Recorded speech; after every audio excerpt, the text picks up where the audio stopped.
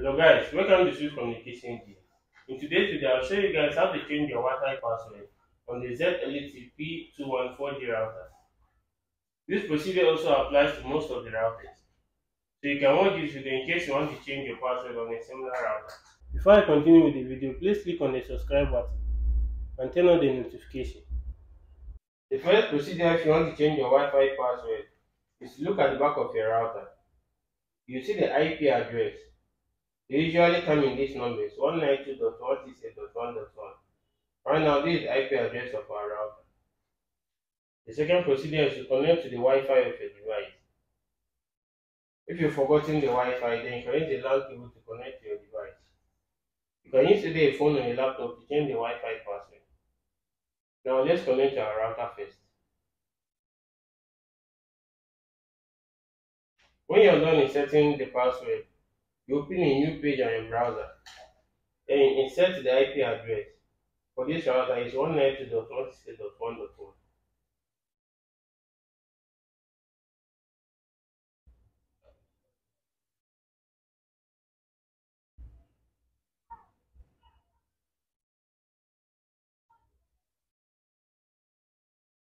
When the IP address is open, you go to login. It will request for a password. Check at the back of your device. You also see a password. For this router is admin admin. Username is admin, password is also admin. So that's what you insert over here. Username admin, all in small letters. Don't forget to type them in small letters. The password too is also all in small letters.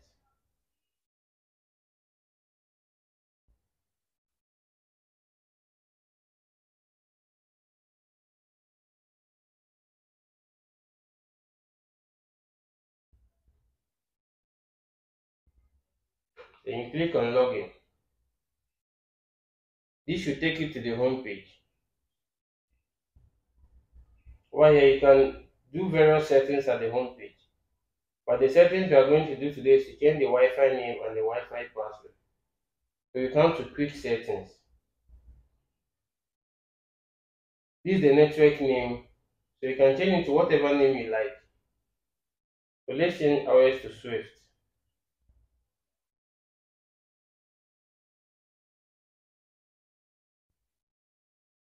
You go to next. And this is the password. You can insert whatever password you also like. So let's change our password to swift123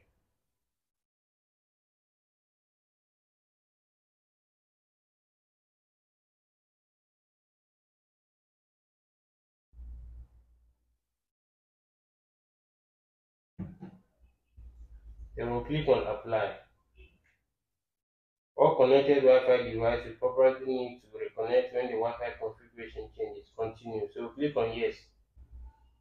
It shows success. So we are done. Now let's connect to the router with our new password. Our Wi-Fi name is Swift. And the new password is Swift123. You click on next. So we have successfully connected with the new password. To factory reset your router, to go back to the default username and password, you look by the side of the router. You can see a reset button. Use the pin to press and hold the reset button for 5 seconds to the router restart.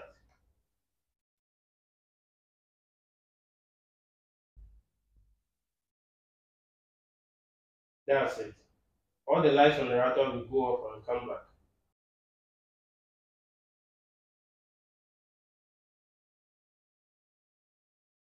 The router is done resetting. So now the Wi-Fi password will go back to the default password at the back of the router. That's this. Now let's reconnect using the default password. Let's consider the default name is MTN CPE. So it's already connected.